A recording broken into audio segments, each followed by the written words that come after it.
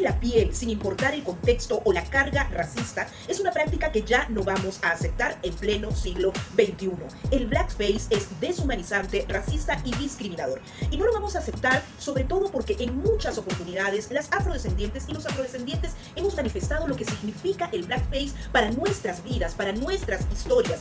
Esta práctica nace con la finalidad de que personas blancas se pintaran la piel para reforzar estereotipos racistas hacia los afrodescendientes. Estereotipos donde estamos señalando que afrodescendientes somos tontos, somos brutos, alejados de la belleza. Estereotipos que hasta el momento nos siguen acompañando. Acá no vamos a decir o a pretender entender si estaban o no eh, con la intención de ser racistas. Simplemente es una práctica que no se debe dar. Y si quieren interpretar a artistas afrodescendientes, hay actores, hay personajes afrodescendientes que pueden hacer esto en cualquiera de estos shows, pero simplemente no los invitan.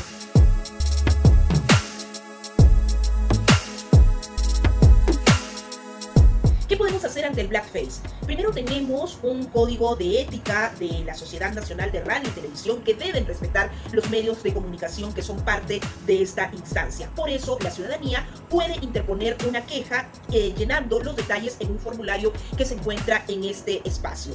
Otro aspecto que deberíamos tener en cuenta es que los legisladores, las legisladoras, puedan aprobar de una vez por todas una ley contra el racismo y la discriminación racial, que no solamente tendría en consideración sanciones, sino también lineamientos, pautas que fomenten, por ejemplo, que se promueva una pedagogía de manera simultánea y conjunta en distintos espacios, incluyendo los medios de comunicación, incluyendo las instituciones educativas que deben brindar una educación antirracista.